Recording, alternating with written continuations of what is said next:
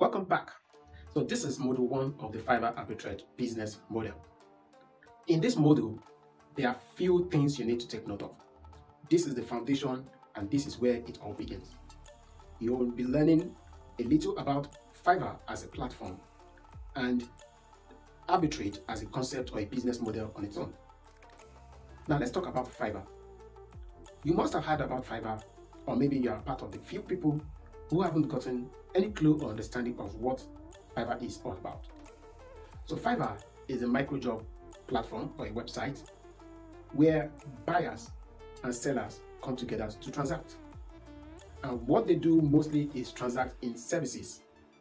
Services ranging from website design, graphic design, um, content writing, um, um, video uh, creation, 3D cartoon animation, and the likes. We have thousands of sellers on Fiverr and we have numerous buyers flocking to the website every day to patronize or to make requests. So in the in this course of study, in this module, you are going to be learning the following. Number one, you're going to understand what Fiverr is and why it was set up. You're also going to be having the basic understanding of what the arbitrage business model is all about. Like I said in the previous introduction, arbitrage is a business model that can be applied to any business in reality. And we are applying that same concept of arbitrage to Fiverr. And this is the easiest way to start your journey into making money online. So you're going to be understanding what Fiverr is all about and also what the arbitrage business model concept is all about. Then you're also going to be learning how to set up your own Fiverr arbitrage all from the scratch by yourself. Please take note, this is something that differs from individuals. My own arbitrage model system can be quite different from yours. But as the concept of arbitrage implies, arbitrage is arbitrage. So you have to define your own arbitrage system.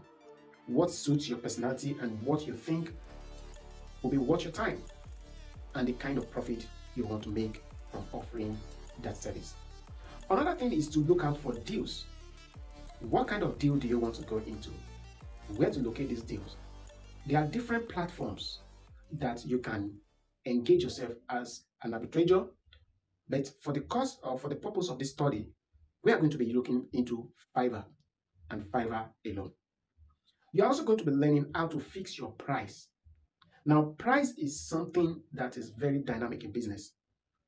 You have to understand the nature of the services you are putting together and the best price at which such service should go for. Then finally, you are also going to be learning how to scale higher and gain more customers.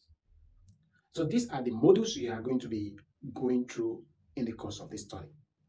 And we'll be taking the first module in proper after this video. Thank you for watching up to this point in time. If you have any questions, please use the buttons below and reach out to me, your tutor. I'll be glad to answer your questions. You can drop your comments. And you can also engage with me during our live session. I'll be glad to walk you through the Fiverr arbitrage process from your account creation setup to where you need to take it up from on your own. Thank you for watching and see you in my next video.